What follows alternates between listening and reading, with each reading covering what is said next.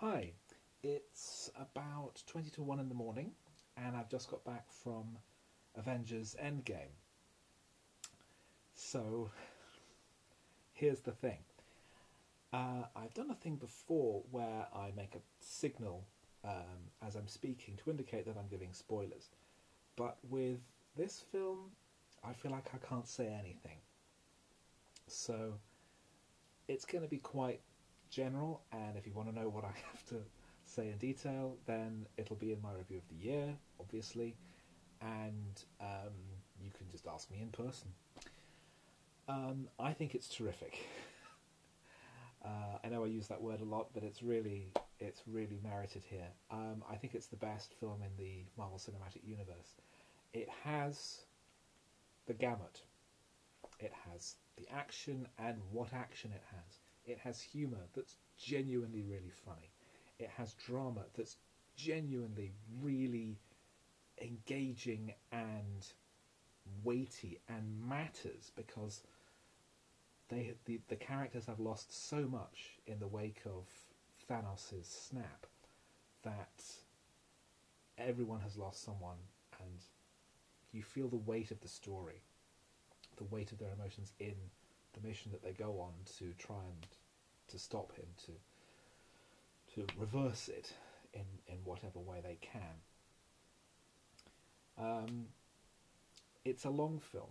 It's slightly over three hours, uh, which I think makes it the longest superhero film of all time because no one counts the director's cut of Batman vs Superman.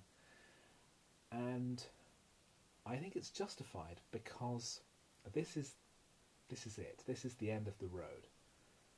So everyone deserves their time in the sun. Scarlett Johansson as Natasha gets to do more in this movie than almost I think pretty much the, all the other movies put together in terms of having an arc, having a story, getting a range of character behavior. She's funny, she's in charge, she she gets so much to do, and I think her performance is maybe the best in the movie because after all this time, Natasha Romanoff is finally fleshed out as a full character.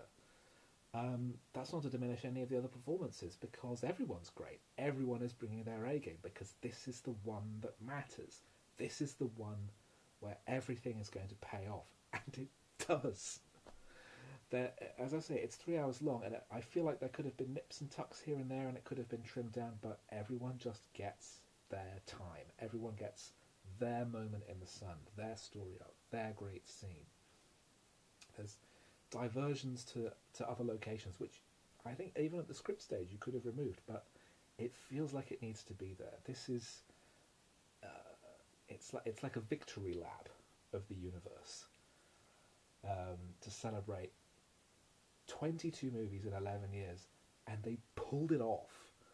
Um, it's I, I made a joke on Twitter as I was coming home that it's it's the that's carry on of the Marvel Cinematic Universe because it's almost as though imagine that the last carry on movie only made sense if you'd watched the previous 28 um, over 20 years. It's that scale of filmmaking, it's that scale of thought and work that has been put into this. And it's amazing to note how little details, little bits and pieces of previous films, which seemed irrelevant, just seemed like little bits and bobs, little bits of colour, have relevance and pay off in this movie. There were appearances by people I was not expecting. There were appearances by people I were expecting, but not in the way that I expected. Um, I don't want to spoil any. I mean, I, yeah, I don't even want to say what I was going to say because I think that is in in and of itself is a spoiler, uh, even though it was really in reference to something from Infinity War that is kind. I think kind of self evident. And again, if you ask me, then I'll tell you what I what I meant, assuming I remember. That's a reminder for me. Um, but overall, um, I really like. I mean, obviously, obviously don't watch it if you haven't seen at least half of the MCU films because it will make no sense. You'll have no idea who these characters are. You'll have no idea what the story is. You'll have no idea what the stakes are. You'll have no idea why this matters. But if you have seen them and you do have been following the story, it it lives up to the hype. It lives up to all the excitement, all the promotion, all the build up. It's a three hour payoff to a gargantuan project that is almost beyond belief in its scale. And it works. And I had an absolutely amazing time. And I think the key element is that the movie is, as I said, three hours long, including end credits. But it was not until the end credits were even halfway through that I looked at the time. Not once during the movie did I look at the time. It could have maybe been broken in two. You could have had the whole Infinity War Endgame story as three movies of shorter length because it's five and a half hours between the two movies. But overall, this is a great film. Uh, it's maybe even an early contender for film of the year. Um, I loved it. I it was uh, I just had a really great time. I laughed, I cried, I finished a journey that I've been on watching these movies for 11 years. I remember going to see the first one.